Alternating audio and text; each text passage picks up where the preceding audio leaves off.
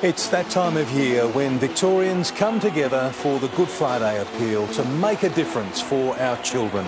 Welcome to this year's Good Friday appeal here at the Royal Children's Hospital.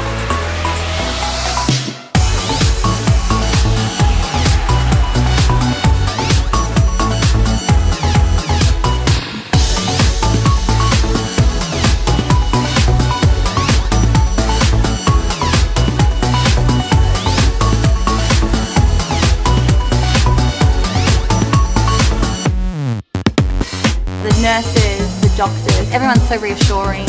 You feel so comfortable just putting 100% of your trust into the people that are caring for your kids.